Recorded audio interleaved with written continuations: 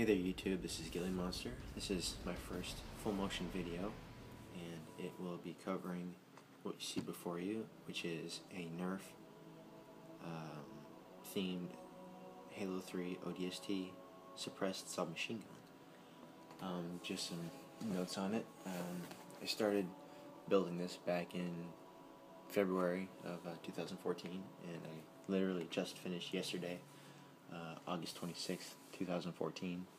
I worked on it pretty steadily, but off and on.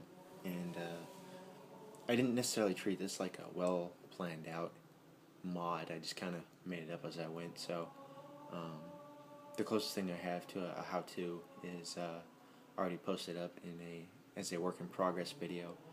Um, just to start off with uh, how big this uh, this ended up being.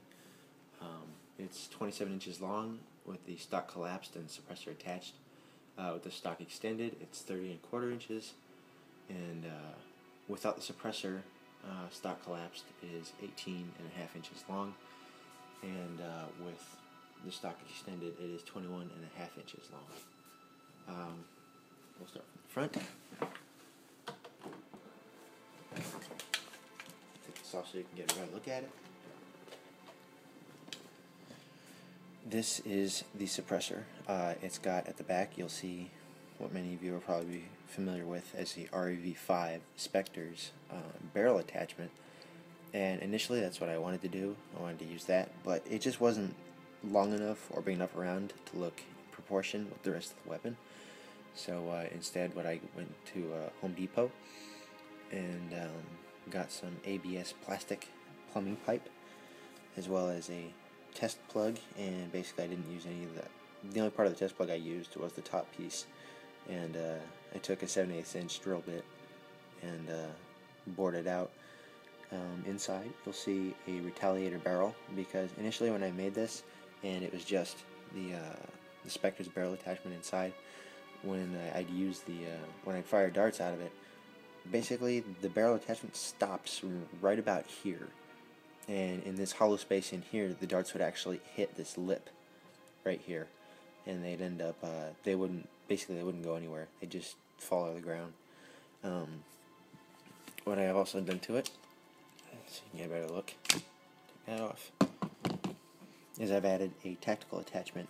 And so if you're looking at it upside right it's got it's down to the left at a 45 degree angle. And it mimics basically the um, it, it mimics the, uh, the, the ODST version from the video game. Uh, the next section. Oh, uh, before I move on, uh, what I used as a spacer for the, uh, the barrel attachment into the ABS plastic is uh, basically Lexan or polycarbonate clear plastic. I heated it up over a heat gun and basically made it nice and malleable and put it on uh, secured it in place, just basically made it thin enough to where it would be a tight fit inside the uh, the plumbing pipe. Um, and uh, once that was done, I pulled it back out, uh, layered it with uh, Gorilla Glue, and since that expands, I put it back in. It hasn't budged at all. the next accessory is the laser and flashlight uh, attachment. Uh, I'm not sure if the one from the game has a laser pointer in it. I mean, I know you never use it, but um, at least I've never seen it. Uh, maybe somebody could enlighten me on it if there's an official source on it.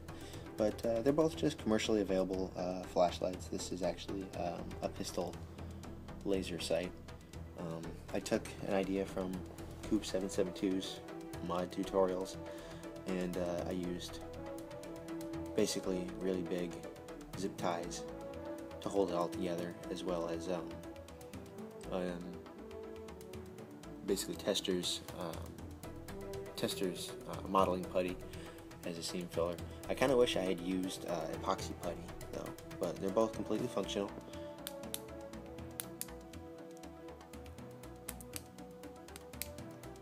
And uh, they actually do come with uh, the uh, the moment switches uh, which basically it's a button that you mount over your trigger guard, and you can use your other, your offhand or your uh, your other fingers to press basically the buttons while you're still holding on to it.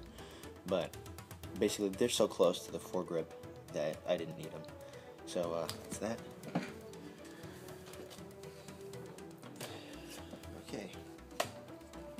Next feature is the uh, the reflex sight. Um, take it off. Look at it. I can go into detail about it. This uh, was probably the hardest piece to make, um, just because having a tendency, all I have right now is a Dremel bit, and if you're not careful while you're cutting uh, the exterior out, you I would end up uh, dragging the bit along, not necessarily like right across the middle, but just a very small, um, almost like an etching mark, and it, it just ruined it. So it took me a couple, couple times to get it like you see now.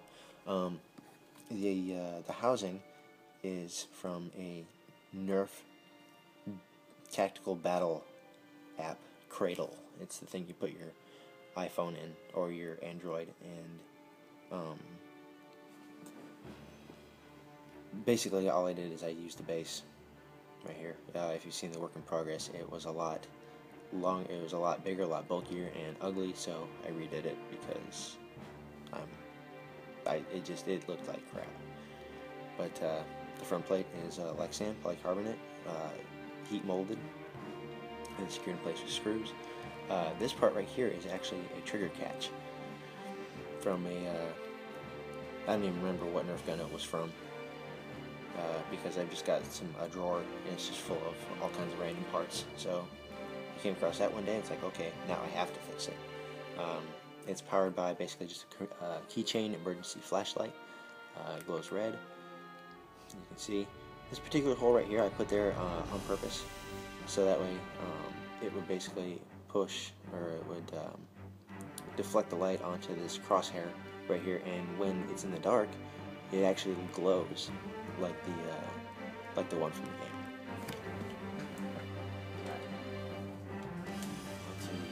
Body. The main body is a Stryfe. Uh, it's been heavily modified. Uh, the internals, I followed uh, Drac, uh, Drac's uh, Ultimate Mod Guide tutorial, which uh, I'll figure out how to put in the in the description so you can follow it if you want. Um, I also did some other stuff um, that was just me. I've never seen it done before. But what I did is I cut off the I want to call them call them crocodile teeth, and basically got that kind of a, a flat, more uh, realistic look. Uh, I also had to shorten the barrel. Uh, if you look closely, see here, see, there we go.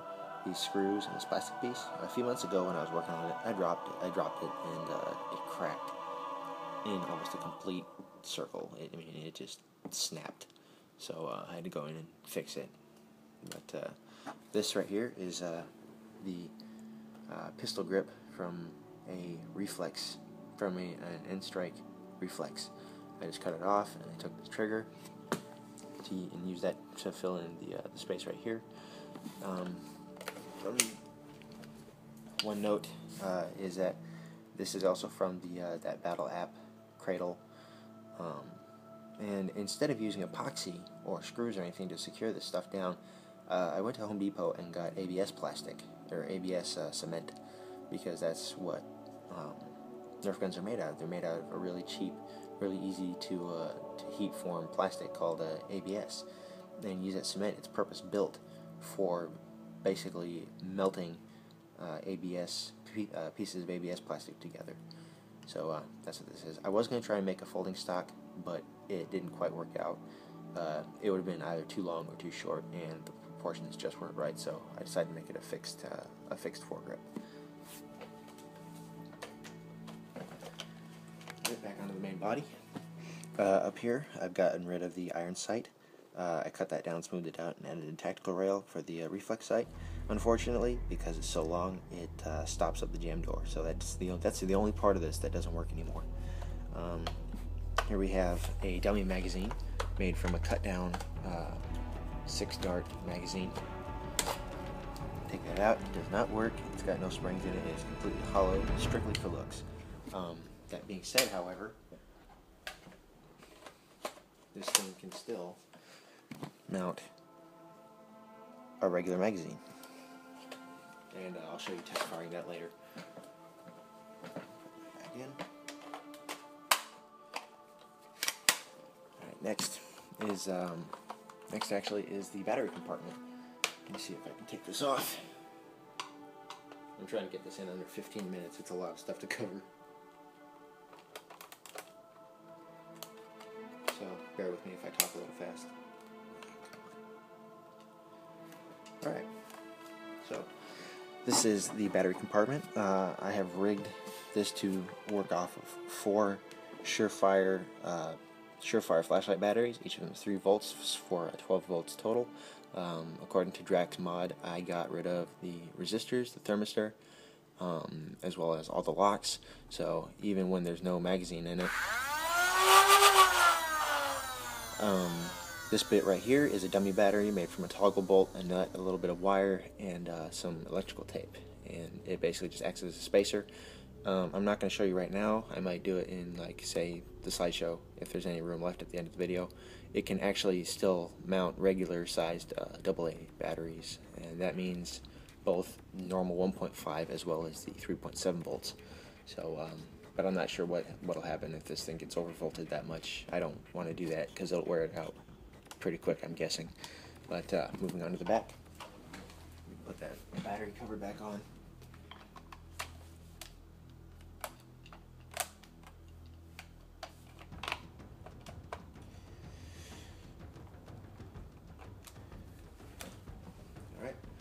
Um, in the back, you have the stock. This is taken from a CS35 Rapid Raider, basically all the way up to here. And if you'll recall, that's actually flat, and this is basically the main body of it right here. Uh, here's a little support strut they gave it. Um, what I've done to it is I've taken the RV5 Spectre's uh, buttstock and put it on at a slight angle to mimic the, uh, the hooked look of the uh, ODST SMG's uh, collapsing buttstock. Um, in the middle, I filled it in with uh, a cut down, uh, some more of that cut down uh, six dart magazine.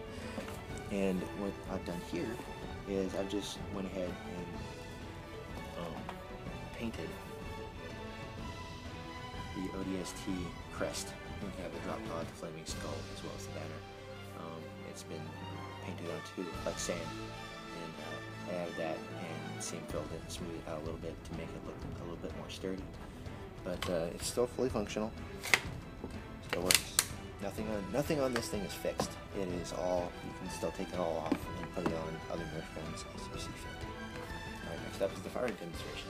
Alright, firing demonstration, suppressor, everything, all accessories attached.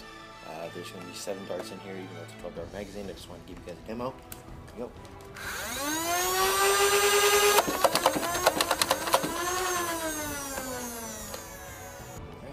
Second demonstration. This is with no accessories, 7 rounds, 12 volts.